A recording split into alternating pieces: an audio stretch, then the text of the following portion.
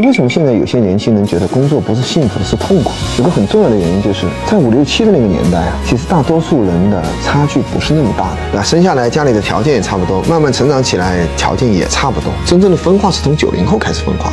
有些人天生投胎投得好，就投在罗马；有些人一生就奋斗在去罗马的路上。那那些需要奋斗的九零后，心态就完全扭曲了。他就会觉得我去你的，我本来是跟你同学的嘛，我们两个还是闺蜜嘛，发小嘛。那凭什么大学毕业以后，你可以在家里头待三年，或者是你在家族企业里头做三年的基础工，什么从车间开始干起啊，从搬运工开始干起，从门卫开始干起，你依然很开心？为什么？你虽然拿着门卫三千块钱的工资，可是你老爸老妈每个月还可能补你三万嘛。我没有这种日子的人，我看到旁边。我就觉得，哇靠！我累得跟狗一样，我起得比鸡早，睡得比狗晚，我还过不上他三分之一的生活。他就会觉得我为什么要这么苦？就很多情绪不能自我管理，很多情绪管理不到位的人，他就陷入一个恶性循环。那怎么去管理呢？第一个就自我管理了，个人都有个人的福了，那个就不是你的福了。人间清醒嘛，认清现实嘛。第二个，自我阿 Q 了，投胎不是我的专长，下一步的人生才是我的专长。第三个，成功不是靠自己，成功是靠别人。所以我经常讲，你需要结交三种人，这三种人是可以带你出道的。第一个就是你要想办法认识行业领袖，第二个就是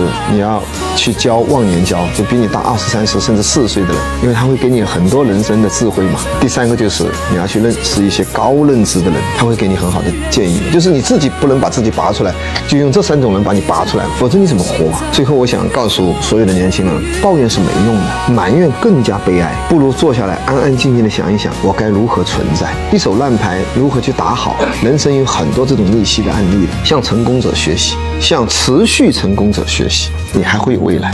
一个人想改变命运，提升自己的运气，最好的方法你知道是什么吗？不是抱怨，也不是自己去读书，也不是自己去修炼，也不是自己去反省，而是找到你生活中运气好的人，天天跟他在一起，你就能改运。